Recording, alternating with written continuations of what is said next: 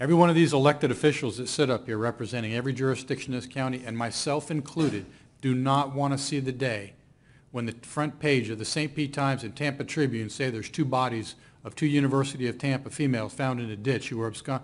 We don't want to have that here.